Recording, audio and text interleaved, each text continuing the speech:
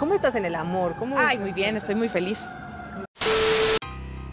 La conductora de hoy, Tania Rincón, ha iniciado una nueva relación nueve meses después de anunciar su divorcio del empresario Daniel Pérez en marzo pasado.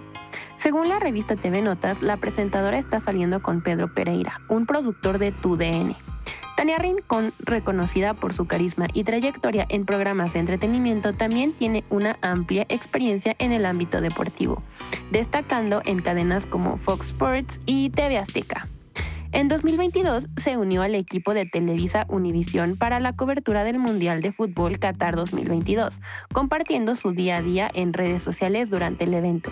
¿Quién es Pedro Pereira, el productor vinculado sentimentalmente a Tania Rincón? Según una fuente cercana a Tania citada por la revista de prensa Rosa, Pedro Pereira, productor de TUDN, ha ganado poco a poco el cariño de la presentadora. Aunque se dedica a la televisión, prefiere mantener un perfil bajo y no busca figurar públicamente.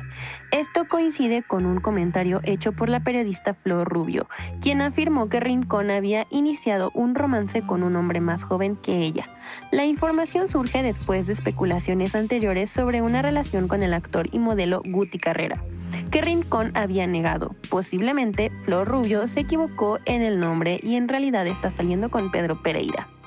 Sobre el nuevo interés romántico, Pedro Pereira hay escasa información en Internet y su presencia en redes sociales es prácticamente nula aunque la fuente de TV Notas destaca que el productor tiene un papel exitoso en el área deportiva de Televisa Univisión.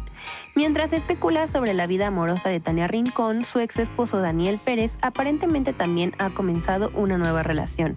A finales de noviembre compartió fotos en Nueva York con una mujer no etiquetada, la que sus seguidores interpretaron como el anuncio de que ha superado su divorcio.